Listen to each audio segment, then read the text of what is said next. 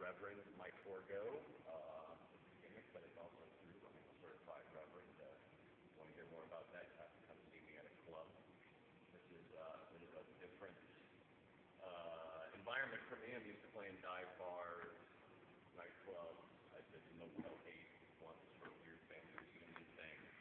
Um, but uh, in the business, I do work in what they, I guess, used to call blue. Uh, so I have a great love of programming. So I'm hoping nobody here is going to get offended. Uh, it's like we're all adults. And if not, hopefully your parents won't come after me. So um, I would like to say two is a treat. I don't, uh, uh, you know, I get up on stage and usually the audience would not be too pleased if I got on stage and started talking about Napoleon. That would be kind of right there. So this should be fun. I hope, uh, I hope you enjoy it. Uh, I'd like to start off by talking about Adolf Hitler. Uh, which actually I do actually talk about quite a bit. That usually I like to talk about the different jokes. Um, now the reason I bring up Hitler is he was born uh, Hans Schlickengrubach in Austria, and uh, early in his life he was uh, had a great love. He was an artist. He wanted to be a painter, right? And uh, this has led to speculation over the years that perhaps Hitler was a better painter. I've seen his paintings, and uh, I think they're pretty shitty myself. I think that's the general consensus. Hitler was a shitty painter. Um, but if he had been a better painter, maybe he wouldn't have done all that other stuff that he did.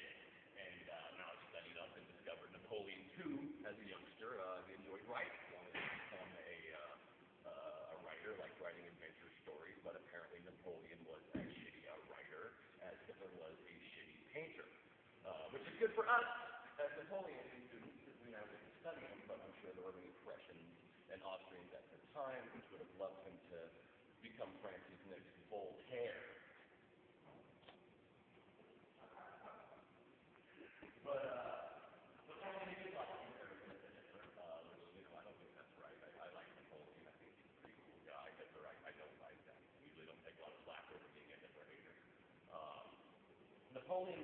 I like Napoleon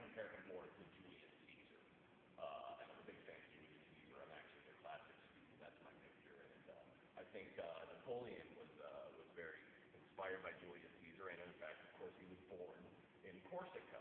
And uh, I myself have a lot of Sicilian blood in me, so I kind of understand that uh, that uh, Italian kind of attitude, you know, he might have had to his French coming in. I don't think he would appreciate it. I think he might have been, uh, you know, he was a good Corsican. He was of course he can swing the baseball game. He, uh, you know, what are these French coming to town? Hey, look at this, French. I got, I got this for you right there, French. All right? Hey, look at this. Here, French, okay? Suck my tail. That's what I got for you. Okay? Yeah. The French ain't. What? What? No, tell me this. What? They fucking won? French is taking over everything.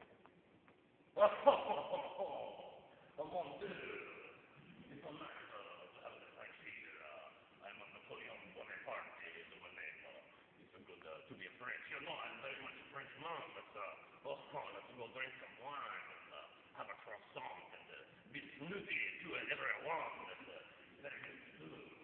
And, uh, but, you know, he, he, he did that. That's what I mean. I think he, he very much uh, emulated Julius.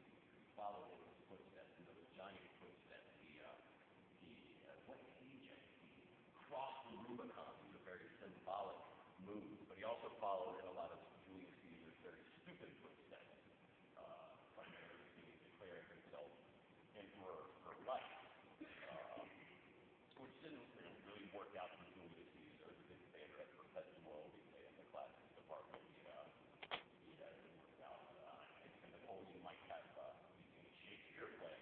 He might have been on the lookout for uh, any old lady popping up going, beware the ides of March.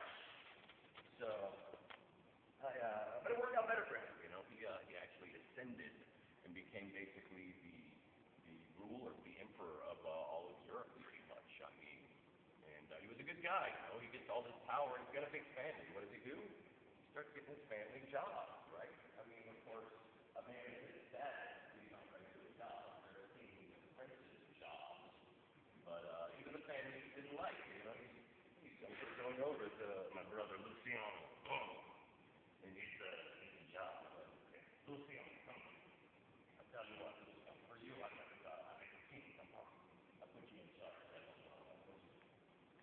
make it again.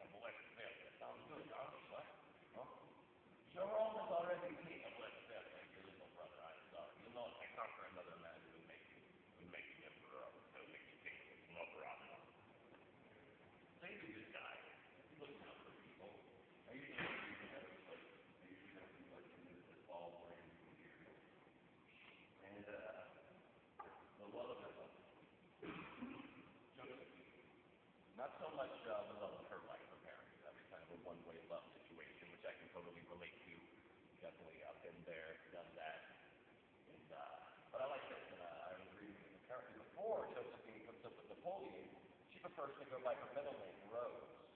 But Napoleon doesn't like her. Like Rose, I know. Doesn't like Rose. I think uh, Tommy Rose was thinking. She's a little weird, I think, when you consider being like his older brother named Joseph. But the French weird over there, and uh, you know. He loves her, man. He'd be finding a for her on the on the field, you know. Uh, you know, it's Josephine, uh, something like that. Oh, anything. Nothing, nothing guess I'll go shell a bunch of Austrians, kill them today. But, uh, you know, he was no saint himself. He was, uh, he was out there having affairs. I mean, they were French. Again, that's fine.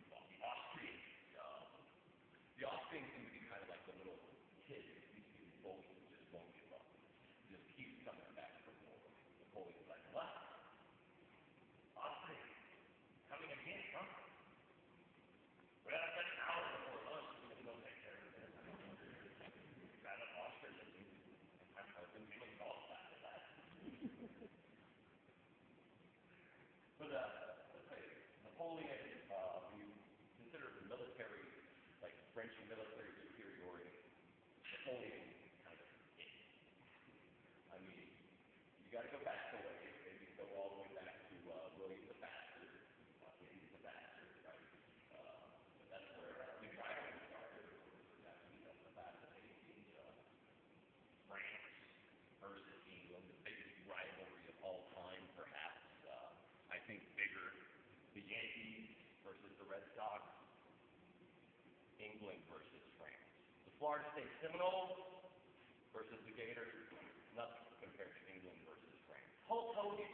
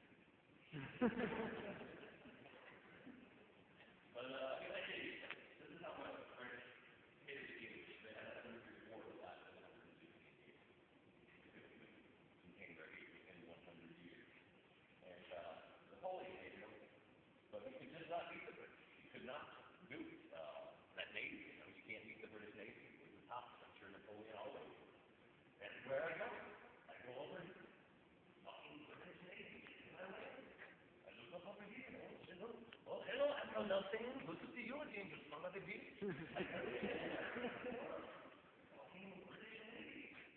but, uh,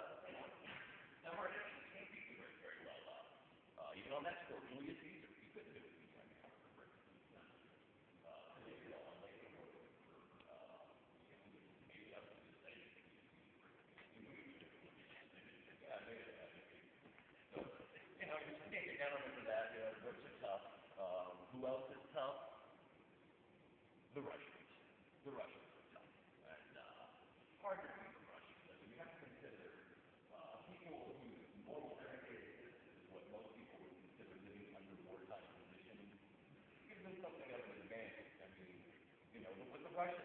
It's like you can beat them. You can get them.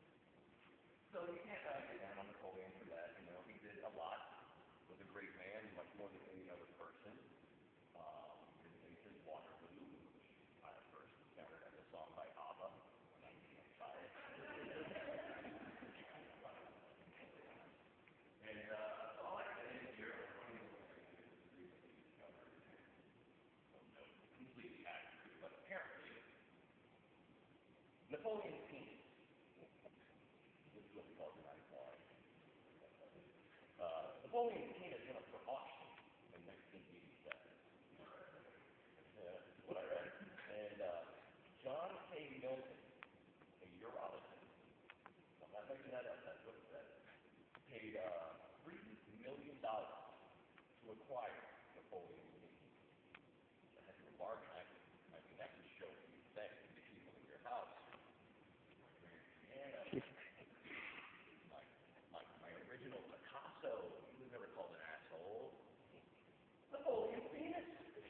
not, my friend. But this is a really interesting thing. When they looked at the penis, it was, uh, it was always said that